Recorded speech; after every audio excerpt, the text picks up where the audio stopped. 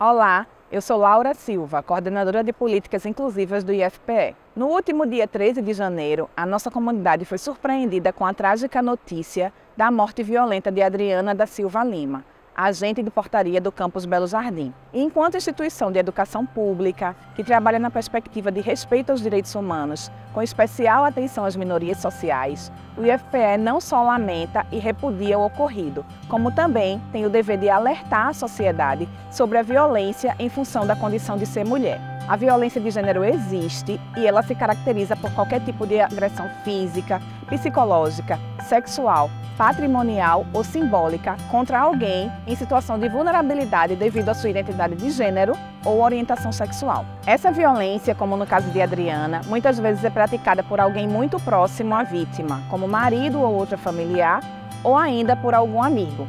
E ela pode também ser atravessada por outros marcadores sociais, como raça ou classe. Nas próximas semanas, lançaremos, por meio dos Núcleos de Estudos de Gênero e Diversidade, os nossos NEGEDs, uma série de publicações que abordarão as questões como os ciclos de violência, o feminicídio, o transfeminicídio e como acessar os canais de denúncia. Com isso, esperamos dar mais uma contribuição para a construção de uma sociedade em que nenhuma ou nenhum de nós seja alvo de opressão ou quaisquer formas de violência. E se você é uma mulher cis ou trans da nossa comunidade acadêmica e está sofrendo violência de gênero, procure o NEGED ou a equipe multiprofissional do seu campus. É pela vida de todas as mulheres.